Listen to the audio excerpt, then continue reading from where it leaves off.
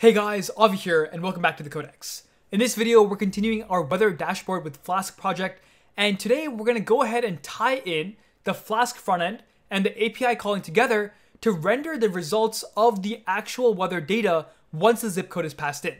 So the current flow looks like this. I have a zip code, I enter, I hit submit, and I can get that zip code in the results page. And now all we have left to do is call the API with the zip code and render those results for the user to see. So let's go ahead and do that right now. First thing first, we want to go ahead and start making use of the functions we wrote in the earlier lecture, get weather results. So once we have the zip code, and our zip code is getting from the form zip code over here, I'm going to go ahead and say my data, so the actual request response should be get weather results, passing in my zip code, and then also my API key.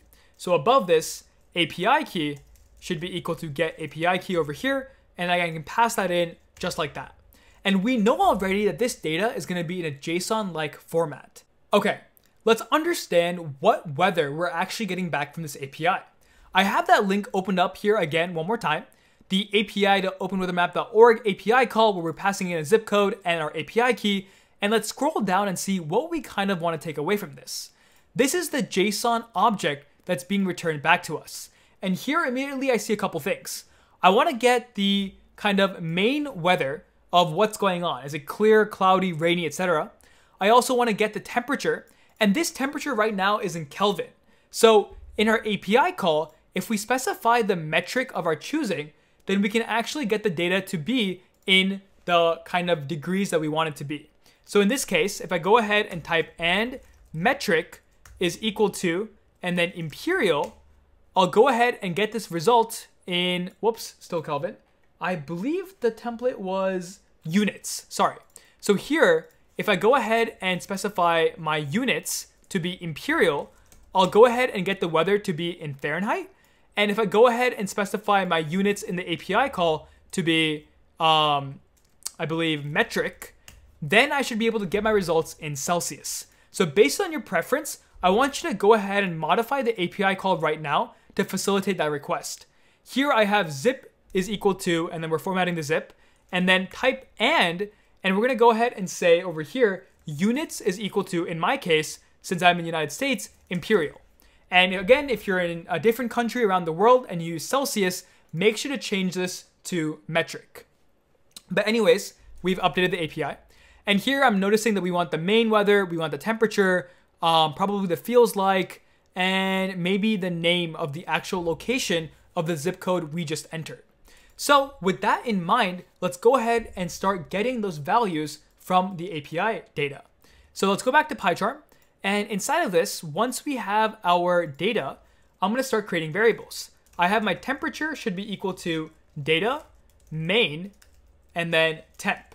And what does this follow? So going back over here, I see that we have this kind of main category, this main dictionary. And inside of the main dictionary, I have this key temperature, which is relevant to a float like value of my Fahrenheit or degrees Celsius temperature. And so I want to convert all these values into strings. And so I'm going to go ahead and format this value as a string. And I'm going to go ahead and say over here, format it as a float with two decimal places only. And this is the syntax to do that. And if I go ahead and say dot format and pass in my data inside of this, I will now have my temperature as a string that's formatted as such. Next, I want to go ahead and get the feels like data. So what does the temperature actually feel like? That can be feels like is equal to, and then data, main, and then feels like. So again, we're essentially just parsing this JSON structure that we've gotten. And same thing over here, I'm going to format it just like that. Fantastic. Next, I'm gonna go ahead and get the actual weather description. We can see that it lies in key weather and then key main. So I'm gonna say weather is equal to data weather, I think, and then main over here like that. And then last but not least, I wanna get the location. Like we're passing in the zip code, but where did the user actually reside? So here I'm gonna say location should be equal to data name. So what we've done is we've taken our API call, we're calling it with the zip code that the user passes in, and while we're parsing the response for key values that we want to render to the user. So we have all these variables, and now we need to put this in an HTML template. And we can pass these variables in a new template that we can create right now. So go ahead in your templates folder, create a new HTML file. And for now, I'm going to call this results.html. Feel free to call this whatever you want. And I think PyCharm auto completed this file and made some basic syntax code. Feel free to copy this if you'd like. But honestly, we need four main things inside of this results page. I want to go ahead and render inside of a div tag the four key components that we just created. So an H3 for the weather in my city name. And again, to specify for now, we're going to use Jinja 2 code syntax to pass in a future variable. So weather in location will be replaced by weather in and then the variable value for location that we pass into this template. Similarly, I'm going to create an H2 tag and say, what is my temperature? Well, that temperature will be temperature, and then I want to get the degree symbol. So a quick search for that, honestly, I like to do is just degrees symbol, and then go ahead and copy that. So let's find some text that has it, uh, which is going to be that right there, and then put this right there and put in Fahrenheit. And then I'm gonna go ahead and create a new H3 and pass in what does it feel like, I guess like the weather. So is it cloudy, rainy, etc. And then last but not least, what does it feel like right now? And that will be an H4 tag. And so feels like, and in this case, we're passing in the feels like variable, and we're gonna use the Fahrenheit since that's the metric or unit that I'm using. And so what we've done is we've created this template that's using Jinja 2 variables, location, temp, weather, and feel like to generate this view for the user. The last thing we have to do for this video is pass these variables into our template. So going back to app.py, just like we rendered our template over here, we're gonna say return render template, whoops, render template. We are going to render results.html and then comma, we're gonna pass in values that associate with the variable names we mentioned in Jinja 2.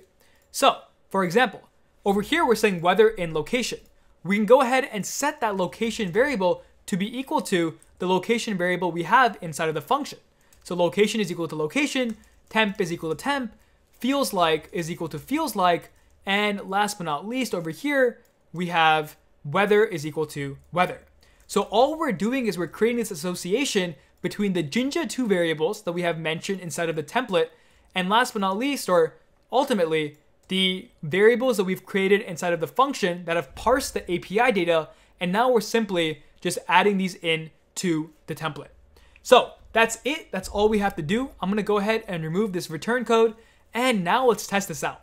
So save this, run your app.py again. Let's open up this URL. Here's my weather dashboard in Flask. I'm gonna go ahead and put in my zip code, hit submit, and we get an error. So let's go ahead and see what's up. I'm gonna scroll down and it says get API key is not defined. Oh, I see what's up.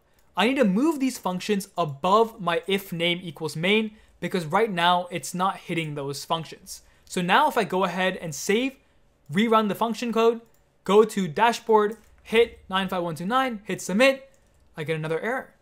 And it says list indices must be integers or slices, not string. So what mistake did I make? If I go back to my JSON data over here, I can see that the weather data is actually an array of different values. It's not a dictionary key value pairs like I originally thought.